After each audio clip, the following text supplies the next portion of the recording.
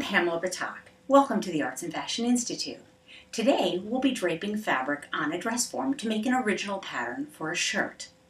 In the fashion industry, designers use dress forms. This is a woman's size 6. In our class, we're going to work with miniature half-scale forms. It will make the project go quicker and it'll be easier to see the details in the finished garment. Let's get started. Dress forms generally come plain with no extra details, so you'll want to put some markings on them to be able to do the designing easier. We use in the garment industry a material called style tape. Style tape is a thin black flexible ribbon. It's similar to black ribbon that you can buy at the craft store. So if you don't have access to style tape, just use anything you have handy. Ribbon will work, a piece of string will work, anything you have that you can see the markings. Now what we've done here is marked the dress form with style tape. The general placement that you want to have the markings is down the center front. I'll turn it and you can see down the center back. That is because we are going to be designing the entire garment only on one half of the form. The other side of the form is left blank all fashion design is designed half, and then we take that half and duplicate it with a mirror image. So you don't have to worry, the left and the right will be the same because they're mirror imaged. So we take the style tape and we pin it to the dress form. And you can't see it from a far distance, but there's little pins holding it down. We generally use pins that have very small heads so they kind of disappear and they don't leave any lumps when we're draping the fabric over them. The other markings you'll see are horizontal markings. This one goes across the bust at the apex, that is the fullest part of the bust. And that's going to go horizontally and it wants to be parallel to the floor or to a door frame. So if I hold it at eye level and make it straight, you can see they look like straight lines. They should be able to go around the form to the side seam for the bust level and below at hip level, they should go all the way around to center back, staying level. There's one additional line, and that goes across at the widest point of the shoulders. And the reason we put that line there is because when you're wearing a garment or a shirt, we want to be able to move your shoulders forward like this without ripping your sleeves out of your garment. So we want there to be a level telling us where we use the fabric up the most, and that is where we use it up the most. One quarter of the way down from the back of your neck to the small of your back. That's where your waist is. So we're going to take the line and put it one quarter of the way down. If you don't want to do it with measurements, just take a piece of style tape, hold it up to the back of the body, find out what that size is, fold it in half, and fold it in half again. Once you've folded it in half, you can use that as your measure to put on the back and then make it horizontal as well. So all of these lines are going to help us when it comes to making the final garment. The second element we're going to use, in addition to putting style tape lines on the dress form, for reference, we're going to use a fabric. Now you can use anything you like at home. You can use um, fabric that's laying around the house, if you have old sheets or garments that you can cut up because they've been used or they're torn, that would be a great source of fabric to do draping when you're just learning.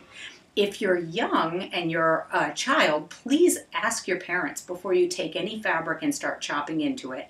Um, I learned from experience you don't chop into your parents' fabric. They might have plans for it. So please ask before you cut into anything.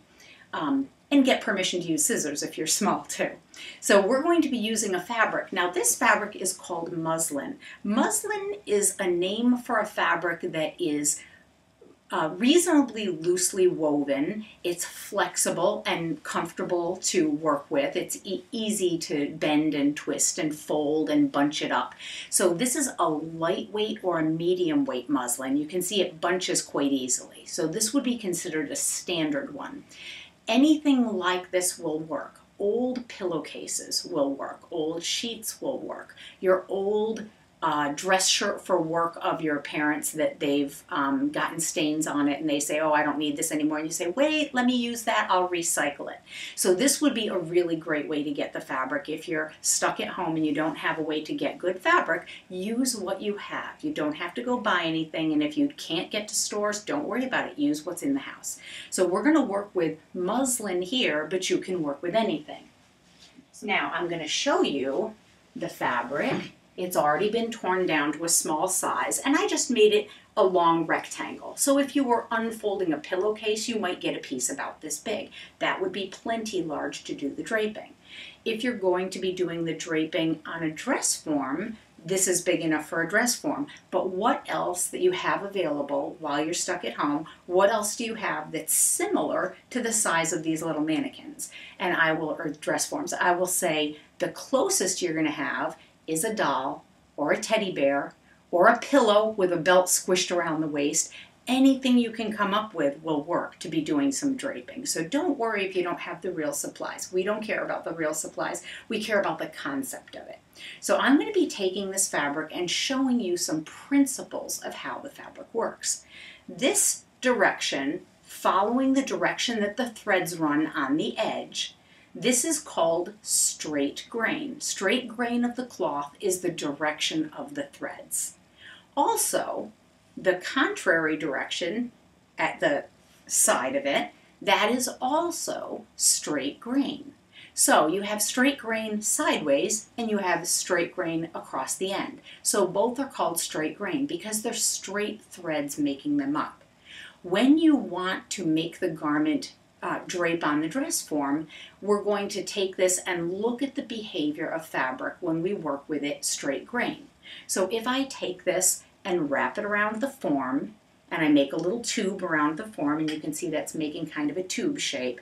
If I make a tube around the form, it's kind of sticking away in a very straight shape, sort of like a soup can label. You could imagine if you peeled a label off of a soup can, it would look like this. It would be just a straight shape. I have a cat visiting, so you have some meows in the background. Thank you, my little darling. This is Ink Smudge. It's our resident cat, Ink Smudge, because my husband does inking. So this is this is her little visit. She decided she has to stay for the class. I hope you don't mind. There's a little visitor. Okay, so this is straight grain. Straight grain, when you wrap it around, makes a tube shape. It kind of sticks out. It doesn't cling to the form at all.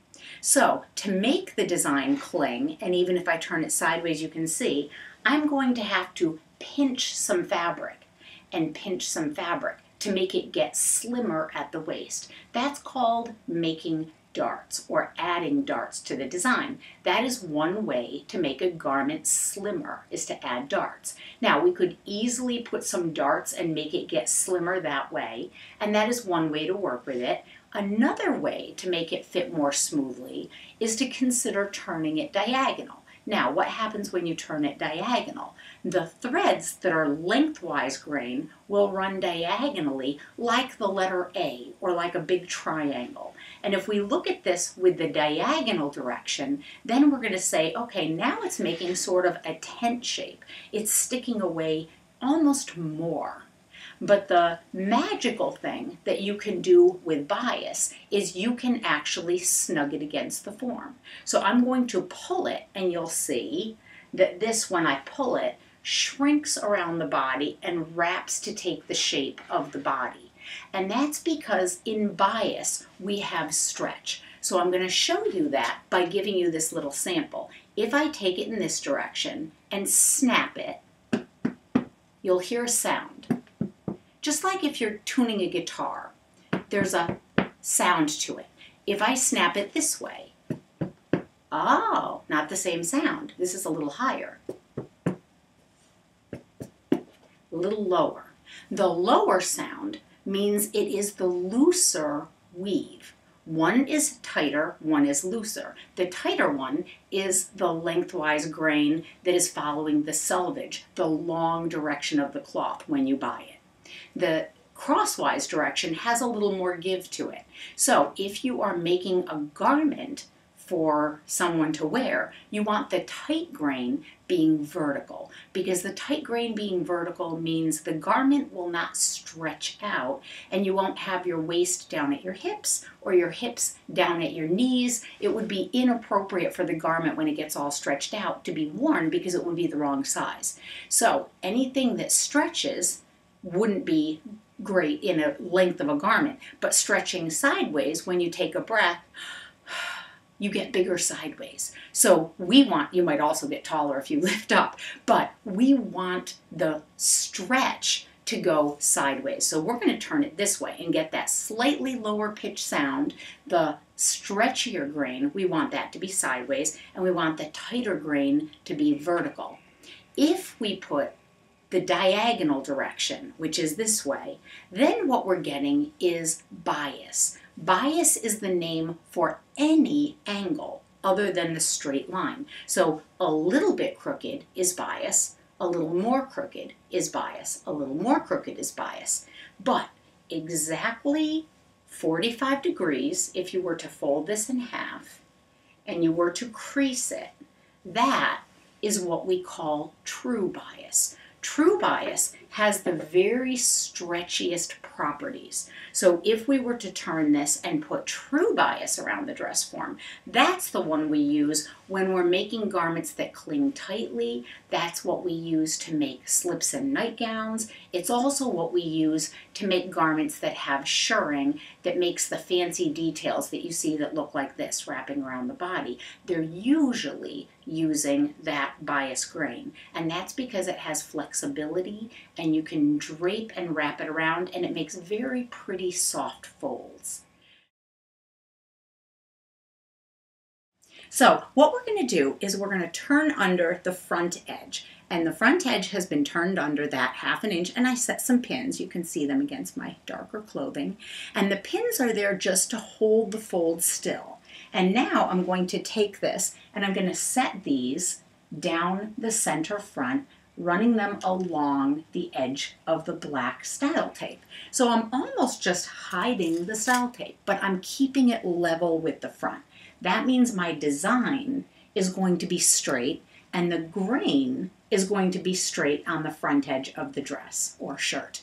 This one's going to be a shirt. So we've got it lined up. Now all of this extra fabric is hanging off to the side. So we have to look at it and say, what are we going to do with this extra fabric? Well, we don't want it all drooping and looking messy. So we're going to smooth the fabric up. So I'm going to lift it around the dress form toward the back until it lays flat like this and it becomes like that tube of fabric we talked about before and I'm going to let it rest against the side. And when I get to where the side seam is, you're going to see on the side seam, there's a little ridge. It's very noticeable ridge. If you're doing this on a teddy bear or a doll, you might have to put something there. Maybe if the, the um, item has some, uh, if you have a piece of ribbon and you could pin a little piece of ribbon down, don't hurt your dolls or your teddy bears, but I think they'll be surviving if you put a few pins temporarily. They're coming back out. So now we're going to set a few pins just to hold the fabric. So I'm not worrying exactly where they go yet. I'm just setting them and this is just to hold that weight. And you can see that whole front is behaving pretty much okay. So now I'm going to take a pair of scissors and also if you're young, get permission to use scissors. These are very big, sharp scissors, but luckily they close and lock. I really love this brand and they're a happy color. So this is going to be my cutting time and you're going to go past those pins and you're going to cut the fabric off. So I'm going to cut this upwards and I'm just going to leave a little extra, a couple inches extra like that. Now that means all the extra weight isn't dragging on the front of the shirt and I'll put that aside. And then I can go back to fine tuning the pinning. So I'm going to say this looks pretty smooth. Now I want to feel for where that little ridge is or the straight line. If I don't have a ridge, if I'm doing this on a doll or a teddy bear or a pillow or whatever I have, then maybe I will be looking to see through the fabric. Can I see the black ribbon? And so now I'm going to work my way up and I'm going to get to the waist. Make sure you put a mark where the waist is. Now this is what I was talking about before. This is the extra. There's a little extra fabric here and you can see when I move it there's some extra here, but it's tight at the bust and it's tight at the hips. That's because this is a sculpted female form. If it was a child's form, it would be less sculpty, but it would still have some form to it. So once we get this all figured out there, that's smoothed out the fabric on the side. We still have to deal with this little bit on the front, but we could leave it loose. And if you look at the shirt that I'm wearing, I'll get my hair out of the way, you can see it's got crinkly texture to it. That's just the fabric. That's called a crushed velvet. So it's just kind of smushed sideways and makes it a little shiny like that. But when you look at it, and if you look at the inside, it's smooth. It's one smooth piece with a turned back edge that's called a facing. But we don't need to worry about that yet. So we've got a smooth flat front. You can just have a smooth flat front. So I could just leave this. Now, I'm going to get to the top though, and I've got all this extra fabric, and what do we do with that? So we're going to look at where the neck is. We finished the body, that's lined up straight, sort of like the soup can label, and we're going to go to the neck, and we're going to put one pin right at the center front of the neck. And if it's your teddy bear, say, sorry, I don't mean to hurt you, little teddy bear. But if it's on a dress form or something like a pillow, it doesn't matter. Now we're going to clip sideways and down. And the reason we're doing that is we want to open up the ability for the fabric to bend around a corner. So now I'm going to push this sideways and sort of wipe my hand on the fabric. And do you see how this opens up right there? That just pulled open a little bit. And I can tilt it closer so you can see that. There's a little opening right there where I clipped and it lets it lay closer. So once we get it laying closer like that, we're going to set another pin. And I'm wiping my finger around the neck. And once I get there, I'm going to clip down again. And then we're almost to the side of the neck because this is a very small dress form. That's why it's good to work little like this when you're making the first thing. And then we're going to set a pin there. So that has smoothed this area out. You can see this is laying nice and flat now. It's almost like a flat piece of paper. So now we have this extra little flap of fabric. That is also when we talked before about putting in a dart to make it shape. That is what we call a dart. Now, you can make a dart in the fabric, and sometimes you do. In fact, this shirt has one on the inside. You can see right there, there's a little diagonal line. That diagonal line coming out of the armhole is a little dart. It doesn't need a lot, but it makes it kind of bend around the form a little bit. Um, if you're making it for a form that doesn't have a bust shaping on it, then you won't need to worry about this. But we can pinch it like it's a little paper airplane, pinch that little bit of fabric, and then set a pin holding that fold. So we're going to take a pencil. We've already got the line down the center front, so we don't have to add any more there. We want to put a dash at the center front of the neck. We have a little straight line there to say if the curve was coming around, it would get straight for a little bit of distance right here. And then the rest of the way, we're going to put a bunch of dots going all the way around to the side of the neck. So you can poke with your pencil and twist a little bit. If you're doing it on a doll, if you're doing it on a teddy bear or some other thing, be careful. You don't want to poke through the fabric and mark the, the teddy bear or the doll. Now, when I get to the side of the neck, I want to put a little straight line for the side of the neck and the shoulder point. So that makes two little lines intersecting like this. And so we're going to look at that up close and you can see that that's a little L shape right there. Okay, so then there's the shoulder. The shoulder is a straight line, so you don't have to dot the whole way. We just have to mark where the shoulder is here, a little straight line where you can feel that little ridge if you have a dress form, or just say this looks like the middle. And then you're going to pick where the arm starts. So where, if it's a teddy bear or a doll, it's where the change of direction happens.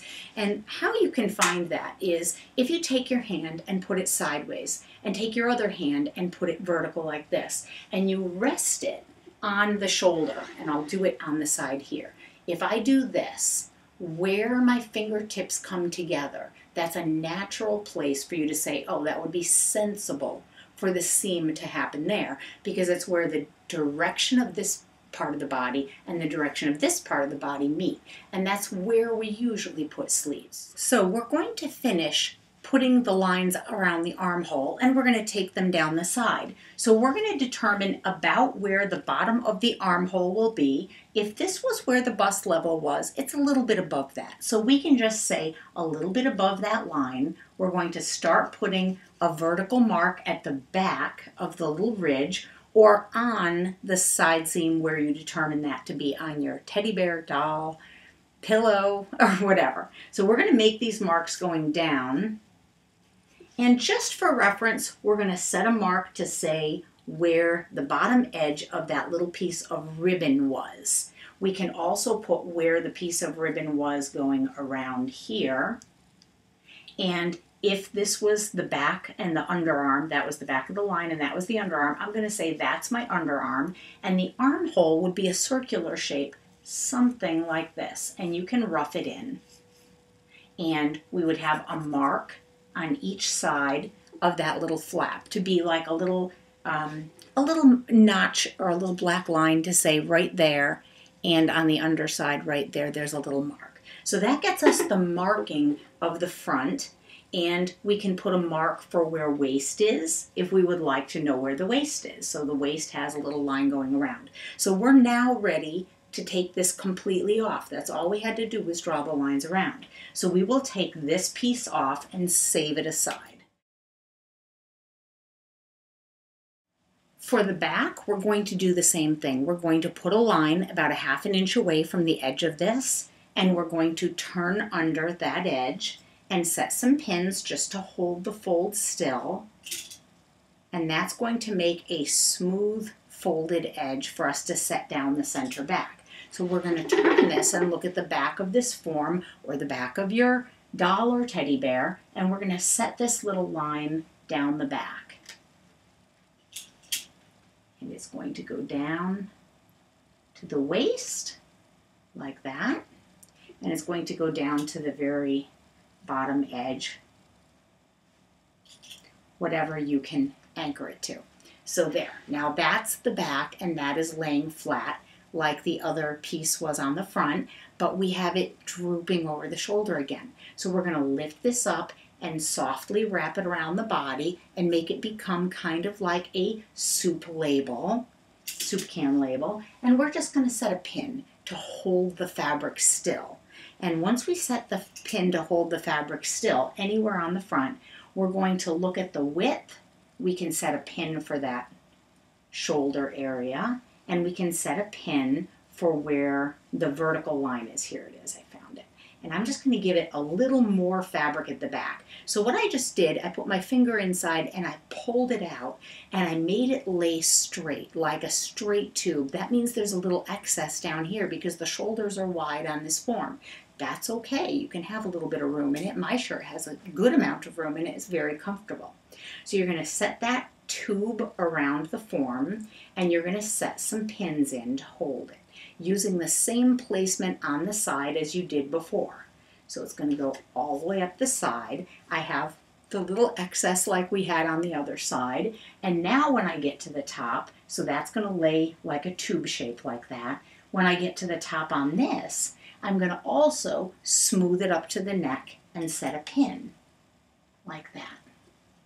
And once I set that pin, I'm going to take my scissors. You don't have to use scissors quite this big. If you don't have this style, it doesn't matter.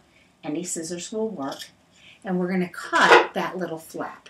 So I'm going to show that to you close up. There's that little flap, and it's been cut right there. So that little flap is making it so that I can bend the fabric away. If I tried bending the fabric away when it was still connected, it would have yanked the other side. Kind of like me doing this and saying, don't look wrinkled. Well, it can't help but look wrinkled because I yanked it. So if you clip and pull, it will look smoother. So we're going to clip and pull. And now we're going to smooth this around the side of the neck. And we're going to go, actually we can almost go on this little form, we can almost go all the way to the side seam. So I'm going to cut off some extra and make one clip between that clip and the side of the neck. And you'll see it took two clips to get around the neck. So there's the two clips and I got to the side of the neck. Now there's still a big bit of fabric moving around on the shoulder. So we're going to look at how we handle that. We're going to take this and we're going to smooth it up and over the shoulder like that. And I can remove the pin from the front now. And this is going to sort of smooth out to the shoulder point like this. And when I smooth it out to the shoulder point, you can see it's reached all the way to the shoulder, it's reached all the way to the underarm, it's reached all the way to the waist, and it's reached all the way to the side of the hip.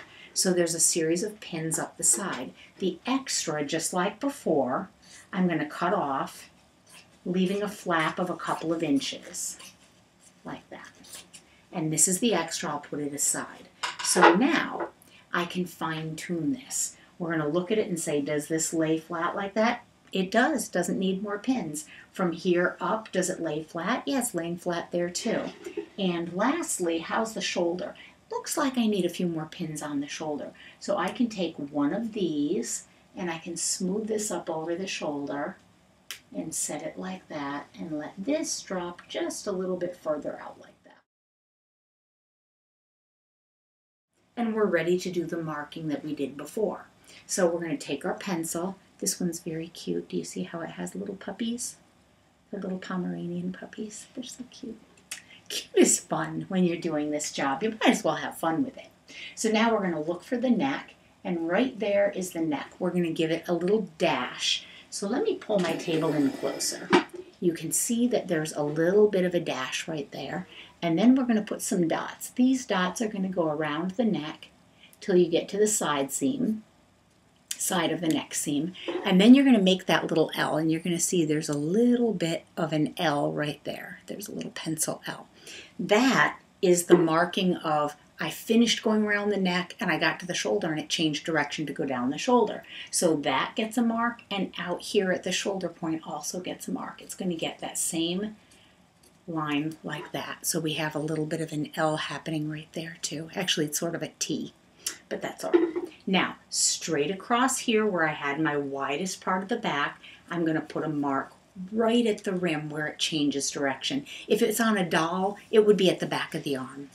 And then we're going to look at the side seam. The side seam is going to be marked all the way up, and you can do it with dots or dashes. I'll do it with dashes. Normally, I would do it with dots because that's what we usually do, but I'm making dashes because I think you can see them easier on camera. But you can make nice tidy little dots and it will be very pretty. Okay, so that should be visible to your viewing. And you can see there's little marks going up. And now the last little bit is I have to connect this down like that a little bit and a little bit around here. Now this is just a rough estimate. Later, when I do a lesson on pattern making, I'll show you how to take this and fine tune it and make it into a pattern. So I'm going to remove, oh wait, a couple more things. Let's put the hip level, we did that on the front, and we don't want to have markings on one that aren't on the other. We want to have the waist in there just to know where it is. Now, we have a big bunch of excess here, but it's going to be a loose shirt like the one I'm wearing, so we don't necessarily need to mark this in. But if you want to say, boy, if I wanted to put a dart in there, where would I want to put it? And if you look at the back of the body, this dress form has a seam already here. That's called the princess line. It divides the body into vertical quarter shapes, like the center, to center shapes and the two side shapes. So we're going to look at that and say, well, we could put a little mark there and say that's where the dart would go. It sort of tells you when you pinch, tells you where it sort of wants to be. But if it's a really big amount, you usually want to divide it into two smaller amounts. It lays better when you do that. So you can see if I pinch this in two small amounts, it lays much more smoothly. Now, last bit, I need to put this shoulder level like that. And now we're ready to take this back off. And I'm going to take these pins out and then we're going to take a look at the shapes that we end up with. So for the front, we ended up with a shape that has a, let me put my hand here, a neckline, a shoulder, an armhole, a side seam going down. Now, when we look at the back, we also have a neckline, a shoulder, an armhole, and a side. And that we need to darken it in and make it nice and neat and clean so that we can follow it. And those, if we were to make one of these and one of these and duplicate it on that straight line. We'll make it be this shape and the reverse on the other side. And the same thing with this, this side and the reverse on the other side. We would end up with the shape of a shirt. I hope you've enjoyed learning a little bit about draping. Draping is a really fun three-dimensional process. We think of it being like sculpture around the human body. So you're sculpting fabric around a body, but you could just as easily sculpt it around something else. What have you already in your lifetime sculpted around? Probably hundreds of times. When you wrap a present for somebody, you're sculpting paper around a box. What if you were wrapping a guitar that wasn't in a case? Well, it's going to be a pretty complicated wrapping. You're going to be folding and tucking lots of little corners. That's what draping is like. It's like wrapping a package, only you're being very deliberate with very pretty choices or handsome choices, depending on if it's for a girl or a boy. You're going to think about what is your instinct for the designs and the shapes and you're each every person is going to have their own instincts that are going to match them and be a little different than everybody else. So don't try to make your things look like other people's. Try to just be yourself because what you are inside is pretty remarkable. And people like me and a lot of other people really will believe in you. You just have to try your best to do a interesting project and then ask some adults who you enjoy um, learning from or chatting with, maybe grandparents, and ask someone who's going to maybe help you. Could they help you learn a skill that's a serious skill? And if you've learned cooking, you're maybe on your way to being a chef. If you've learned sports, maybe you're on your way to being either a team member or maybe a coach of a team. So there's lots of careers in the world, and this is just a little hint of what the draping side of fashion is about. I hope you've enjoyed the class. And um, as I said before, my name is Pamela Ptak. I'm a fashion designer and I'm co founder of the Arts and Fashion Institute. My husband and I will be making lots more of these videos for you in the coming days, so I hope you enjoy them. Take care. Bye.